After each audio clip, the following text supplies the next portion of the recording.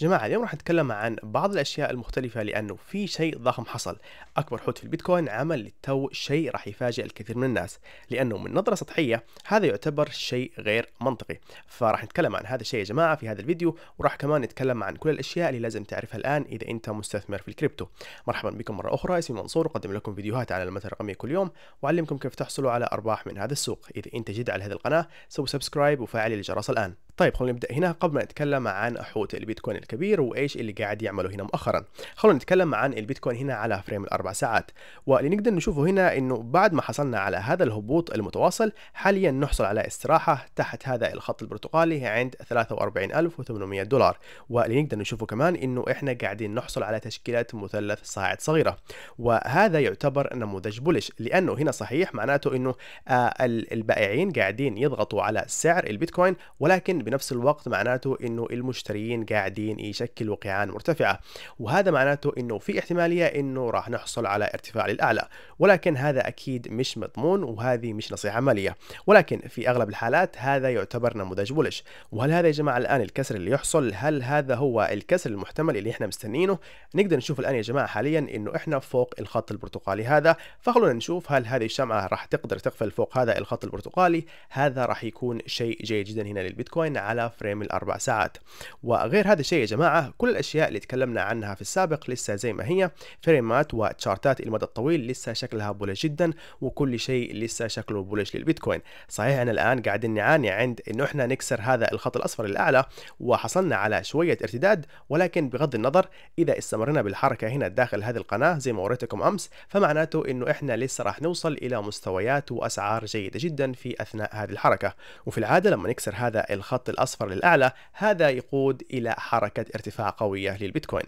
فكل شيء لسه شكله جيد. وفي الحقيقة هذه هنا بعض أخبار العملات البديله هنا اللي كنت عايز أتكلم عنها لأنه في عندنا الآن شيء مهم قاعد يحصل في الكريبتو وهي العملات المستقرة لبروتوكولات الطبقة الأولى.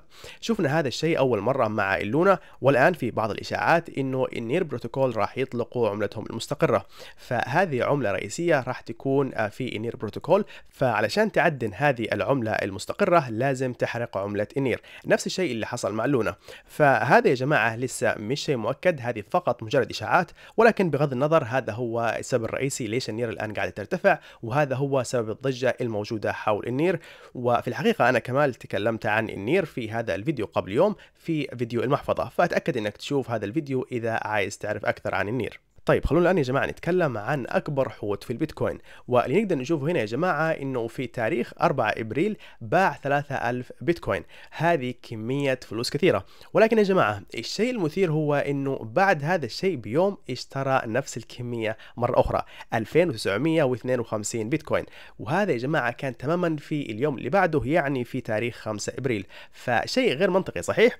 طيب ففي أي سعر باع هذا البيتكوين؟ باع عند مستوى 46 47479 دولار. وفين اشترى هذا البيتكوين؟ اشتراه عند 46572 دولار. فكأنه بالضبط نفس السعر. طيب فهل في شيء هنا هذا الحوت عرفه هنا في هذا الوقت؟ وبعدين رجع اشترى كمية البيتكوين هذا نفس الكمية اللي باعها هنا. أعتقد إنه هذا شيء مثير جدا لأنه مش فقط هذا الشيء ولكن بعد ما باع هذه الكمية هنا اشترى ما يقارب 300 بيتكوين بعدها وبعدين اشترى ما يقارب 3000 بيتكوين هنا وهنا 60 أو 59 بيتكوين وهنا اليوم 110 بيتكوين.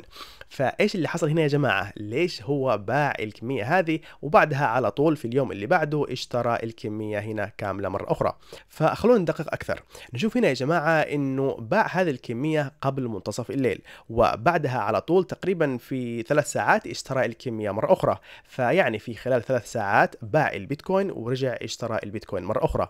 وهذا بصراحة يعتبر شيء مثير جدا جدا وإحنا بشكل واضح ما نقدر نشوف إلا العمليات هنا نقدر نشوف فقط الصفقات يعني هنا نقدر نشوف فقط إنه آه سحب 3000 بيتكوين أكيد يعني علشان يبيع وبعدين رجعها مرة أخرى.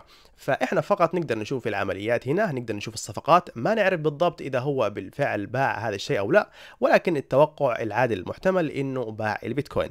وإذا رجعنا في التاريخ وشفنا تاريخ هذا الحوت نشوف إنه هذا يتوافق مع الشيء اللي كنا نتكلم عنه. فإيش اللي تعتقدوه يا جماعة؟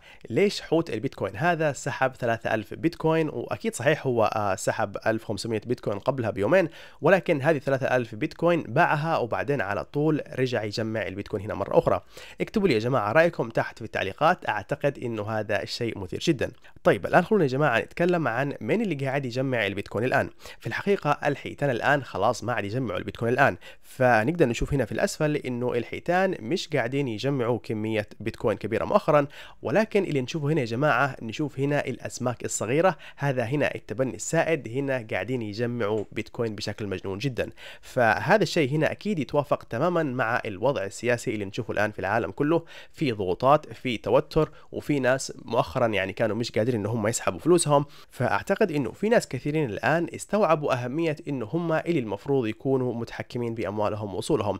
فالناس الآن أكيد قاعدين يشتروا البيتكوين وهذا اللي قاعدين نشوفه الآن على ال on-chain على هذا ال chart في الأخير الان يا جماعة هنا عايز أذكركم في المسابقة اللي تحصل في CTrade تقدر فقط إنك تعمل صفقة وتحصل على جائزة مضمونة من ال UST 75% من المسبح أو الجائزة كاملة اللي راح توصل إلى 750 ألف UST فمجرد فقط إنك تعمل صفقة راح تقدر إنك تحصل على جائزة من هذا البونص. وبعد كده في عندهم أكبر P&L اللي هو آه، الربح والخسارة ال profit and loss وهذا راح يكون 25% من المجموع لكل الجائزة اللي يوصل إلى 250 ألف آه، دولار. فيوجد طريقتين للفوز هنا اعتمادا على عدد المشتركين. إذا يوجد 50 ألف مشترك أو أكثر فالجائزة راح تكون مليون دولار. 750 ألف UST راح تكون ال UST المضمونة والباقي راح تكون لأفضل المتداولين هنا.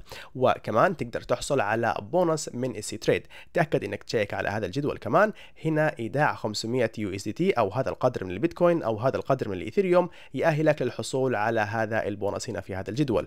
وتقدروا تحققوا من هذا الشيء بنفسكم يا جماعة. الرابط راح يكون موجود تحت في صندوق الوصف. تأكدوا إنكم تتحققوا من هذا الشيء. إذا عايزين تحصلوا على هذه البونصات إلى ما يقارب 8000 دولار وكمان فوق هذا تقدر تشارك في مسابقة السي تريد طب جماعة هذا كان كل شيء عند اليوم. بالتوفيق للجميع وأشوفكم في الفيديو القادم.